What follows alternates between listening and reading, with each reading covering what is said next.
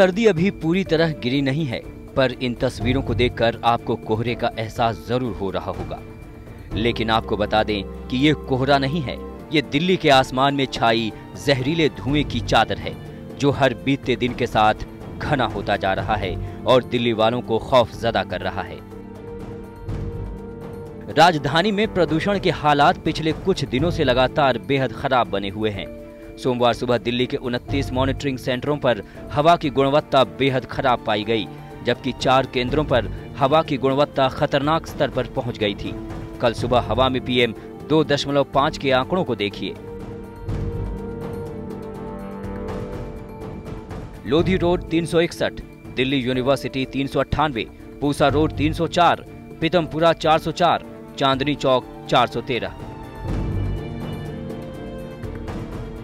आपको बता दें, हवा में पीएम 2.5 का स्तर 300 के ऊपर जाना सेहत के लिए खतरनाक माना जाता है। दिल्ली की हवा में पीएम 2.5 का स्तर देखकर आप समझ सकते हैं कि यहाँ की हवा में किस कदर जहर खुला हुआ है।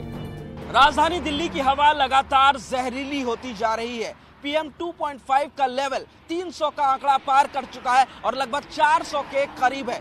जब पीएम 2.5 का आंकड़ा 300 को पार करता है तो सांस संबंधी काफ़ी ज़्यादा रोग होते हैं।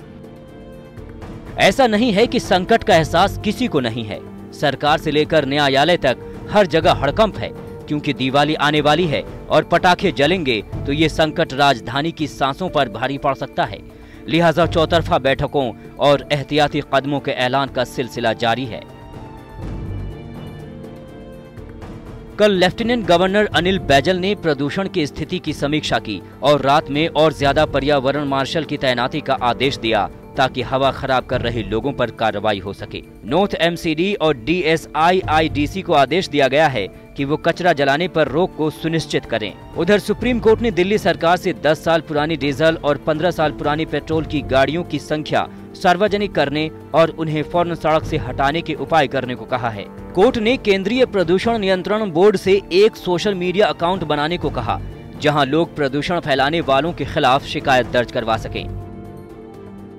अच्छा हो सब मिलकर इस जहरीले धुएँ को दूर करें, ताकि स्वच्छ हवा में सांस ले सके अपनी राजधानी।